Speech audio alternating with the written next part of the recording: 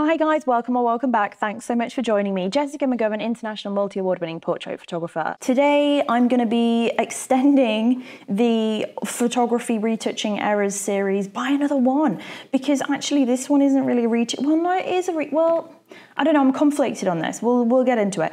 If you haven't already, please do hit the subscribe button, go ahead and hit the bell icon. The bell icon will give you a notification every single time we do a YouTube video. It's every single week on a Friday at 12 noon. And hopefully you can join me from wherever you are in the world. Let's put five minutes on the clock and get stuck into this one.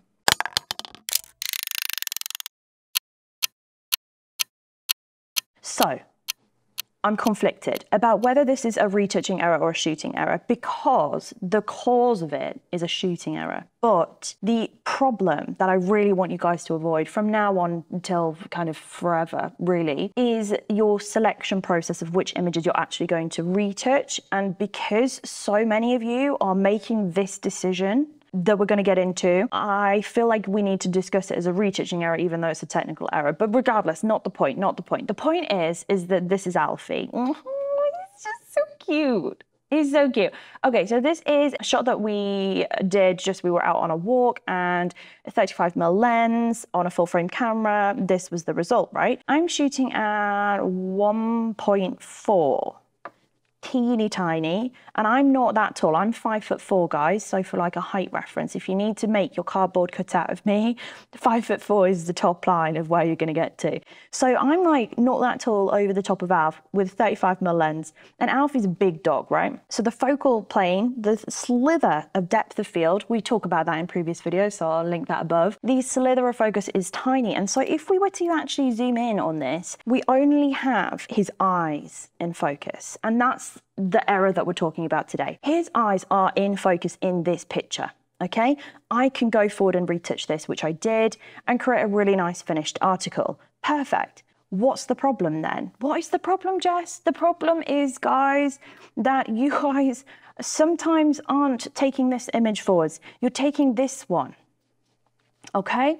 Now, this one, I would still say is borderline passable. But if you take this one I swear to God, I will come and find you and and delete the picture myself. Guys, this image is still adorable, but it's wrong. This is a major, major, major, major, major problem. And so many of you guys are taking this image forwards into retouching. Hopefully you can clearly see, right, that this bit of hair is crispy sharp, okay?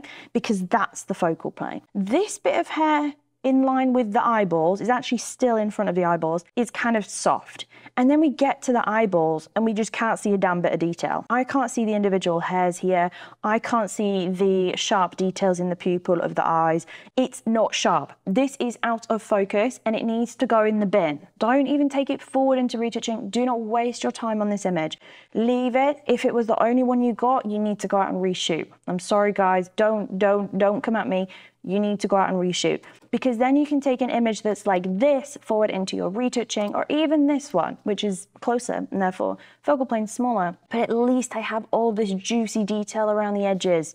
Please, please, please, for the love of photography and all things that we hold dear, please, guys, be more brutal with your pick and cull. I want you to get in there, and if you see an image like this, you go, oh, such a shame, because it is such a shame, and that's the truth, delete. Okay, delete, delete, delete, reject, reject, reject, reject, reject it. Don't take it forwards. Don't waste the time with the retouching. Save your time on that you would have spent editing it, making it beautiful. Put that into going out and shooting it better next time. That will improve you as a photographer. That will progress you further. And knowing that you have made some mistakes to end up with this, that I took this shot, this is my bad, right? Meant that I could go on and correct it to ensure that I do have some usable work that I can put forwards. Now this for me, the focal plane is still quite shallow. The front of the eye is not sharp on both sides. So I step back a bit, lengthen out that depth of field just slightly and can have the entire eye in focus. And so that is today's one. Is anyone angry at me for saying this? I don't know. I'm okay with it. I see it so often. It is such a big problem, guys. Be brutal with your culling. Pick better. Make better choices about which images you're going to take forwards. Because if you have those beautiful big eyes, sharp and clear, the image itself will always look better. Always, always, always. So advance yourself, upskill yourself, be brutal, be a picky Patricia for like one day it's quite fun sometimes. You just step in and step out of it, and that's the way it is. Okay, anyway, that's all I wanted to cover off today. If you found this helpful, please put it in the comments below. Really, really, really interested to know. And if you are somebody who edits images where the eyes are out of focus, knowingly so, I'd love to know your reasons why. I think that it's really important to have this discussion. So please drop some stuff in the comments below. Nice to start a little bit of a debate and a conversation. Of course, for me, technical correctness is always top priority because that's what makes photography so incredible. And it means that we always, always, always continually learn. So me out on the fly went from this one to this one to this one to be able to make my technical gains that I wanted in my final images. But I'd love to know from you what you think. See you again soon.